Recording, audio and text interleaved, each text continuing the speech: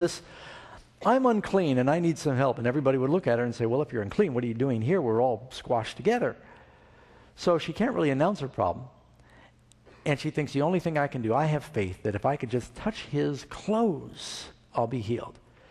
Now, what does clothing represent in the Bible?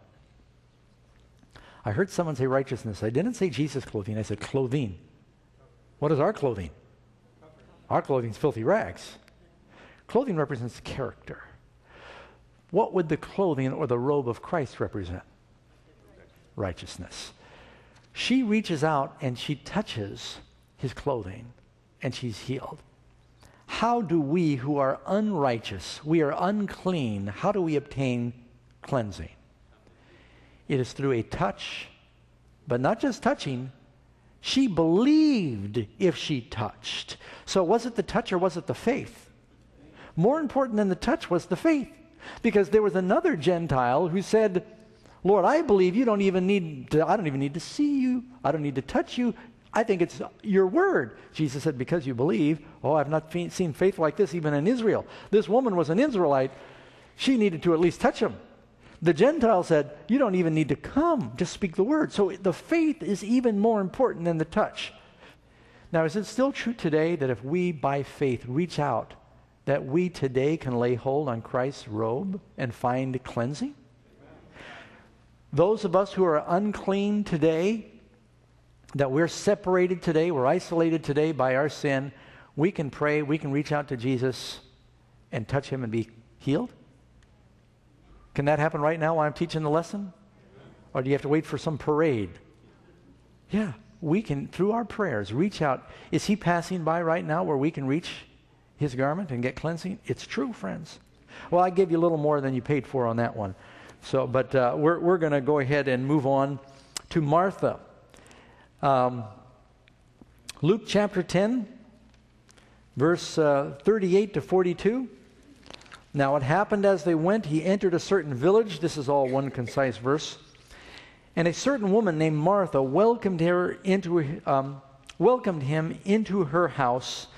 And she had a sister called Mary who also sat at Jesus' feet and heard his word. But Martha was distracted with much serving. And she approached him and said, Lord, do you not care that my sister has left me to serve alone? Therefore tell her to help me. And Jesus answered and said to her, Martha, Martha, you are worried and troubled about many things. But one thing is needed, and Mary has chosen that good part which shall not be taken away from her. Jesus doesn't condemn Martha for the things she's doing. What he says to Martha is really an issue of priority. Uh, sometimes we become so busy with, you've heard this cliche before, doing the work of the Lord, we forget the Lord of the work. Martha was always preoccupied with doing the work of the Lord. Busy, busy, busy, doing good things, but the personal relationship was being eclipsed by the duties. Now, once again, what does a woman represent? What kind of church does the Lord want? The, the church that's busy? Lord, Lord, we taught in your streets, we cast out devils, we did many wonderful works, and cooked and cooked lots of potlucks. We sewed and, and mended at the Dorcas. And Jesus will say, I don't know you. And then there'll be those who have the relationship with Jesus. Those are the ones who sit at his feet and uh, look wistfully into his eyes because they love him. They've got this relationship. They hear his word. They take it personally. And so you get two kinds of churches. You get some churches that are very busy. They got community service, and those things are good. He doesn't condemn them for doing the teaching and the preaching and the ministry. Every church should do that, but not at the expense of the personal relationship. We are not saved by the works of Martha, we're saved by the relationship of Mary. And I think that's probably the most important thing to remember. Stay tuned. Pastor Doug will be right back with this week's special free offer.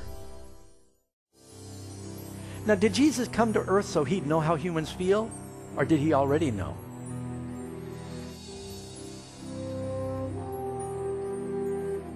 What is the criteria that is being used in this judgment? Is it the sinners go into eternal judgment and the righteous into eternal life? Or is it those who have neglected to love their fellow man? Hello, friends. I'm supposing that you know that Amazing Facts is 100% viewer supported. If you've appreciated these programs, if it's been a source of encouragement for you, and if it's blessed your life, we'd love to hear from you. The only way we can stay on this network and these stations is because viewers just like you contact us and let us know.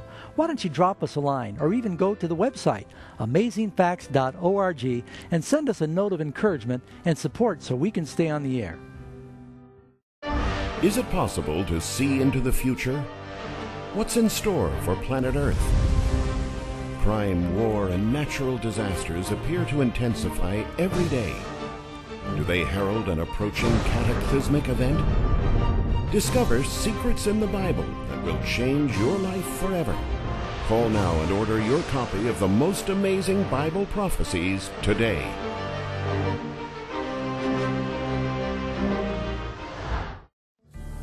If you've been encouraged by today's message and would like to know more of what God's Word says to you today, Amazing Facts invites you to visit our educational website at www.bibleuniverse.com. At Bible Universe, you'll discover exciting truths that will fill you with peace and purpose. The mysteries of the Bible will unfold for you at your own pace.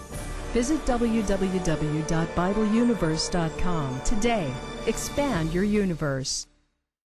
If you've missed any of our Amazing Facts programs, visit our website at amazingfacts.org. There you'll find an archive of all our television and radio programs, including Amazing Facts Presents. One location, so many possibilities. AmazingFacts.org.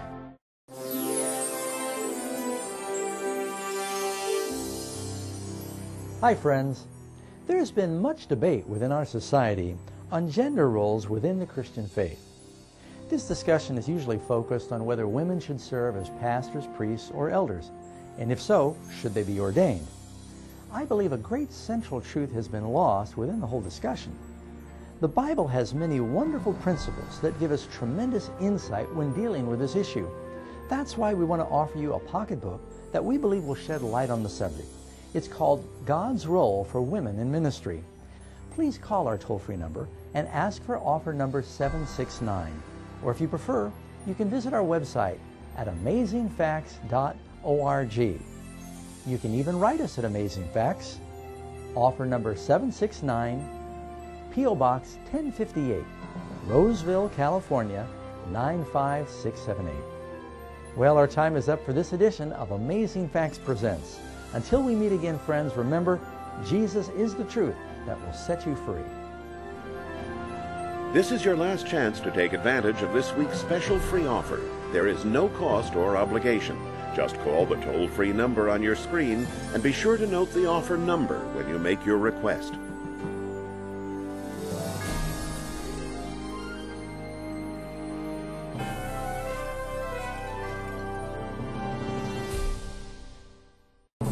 The preceding was a paid presentation brought to you by Amazing Facts Incorporated.